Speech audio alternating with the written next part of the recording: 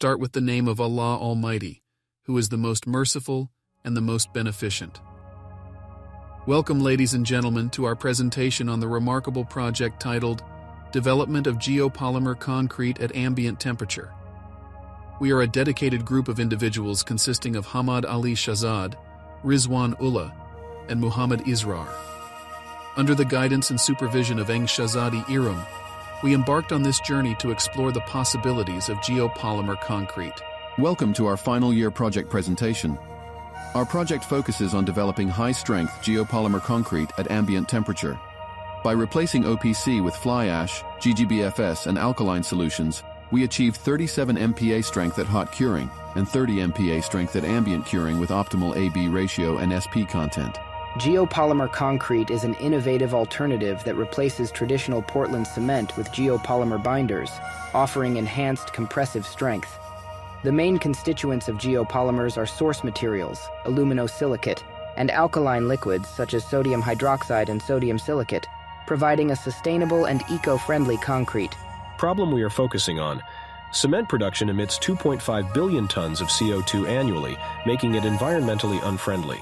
Geopolymer concrete requires specialized curing methods, for example, electric oven, temperature 60 degrees C, 70 degrees C, which is definitely not possible on construction site. So there are two main objectives of this project. Objective 1. Development of fly ash slash GGBFS based geopolymer concrete. And the second objective is achievement of compressive strength at ambient temperature. Our project idea is to eliminate heat curing of fly ash and GGBFS based concrete with the desired mechanical properties at ambient temperature. Environmentally friendly, formation of green concrete with no pollution, is the second key feature of this project. In our mixture design, we had partially replaced the fly ash with GGBFS as the binder. On the other hand, alkaline activator consisted of a blend of sodium hydroxide and sodium silicate, along with the fly ash plus GGBFS and alkaline binder ratios 0.4 0.5, super plasticizer SP ratios had used with the quantity of 2.5%, 5%, 5.5%. This is the basic geopolymer concrete mix design having all the quantities.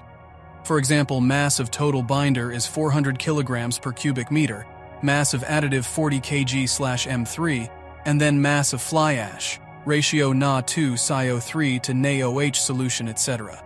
There are some factors affecting the workability and compressive strength of geopolymer concrete. First of all, alkaline binder ratios.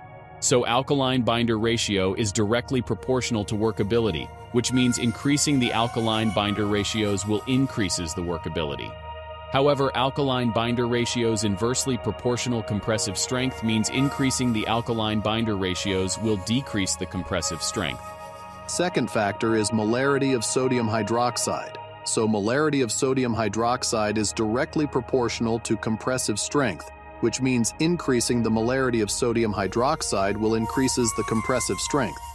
However, molarity of sodium hydroxide inversely proportional to workability that means increasing the molarity of sodium hydroxide will decrease the workability.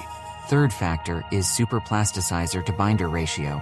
So superplasticizer ratio is directly proportional to workability, which means increasing the superplasticizer ratio will increases the workability. However, superplasticizer ratio is inversely proportional to strength, that means increasing the superplasticizer ratio will decrease the strength. Here are the values evaluates from of sample casting and their tests results. At superplasticizer ratio 0 and 2.5%, and alkaline binder ratio of 0.4 and 0.5.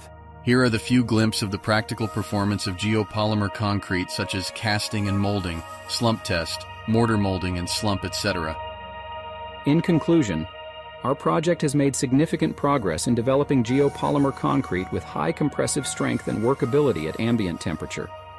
Through our research on geopolymer binders and mix design optimization, we have achieved promising results in terms of mortar strength. While the project is nearing completion, ongoing experiments aim to provide concrete results.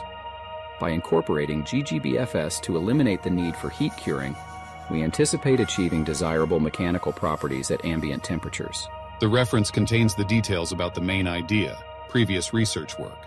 The main idea was proposed by the Hardjito 2005, Rangan 2008, and research by PhD thesis 2015 Nath Fly Ash GGBFS Geopolymer Concrete Reference Thesis. We would like to express our heartfelt gratitude to everyone who supported us throughout this journey, especially our supervisor engineer Shahzadi Iram and co-supervisor Dr. Hamid Salahuddin.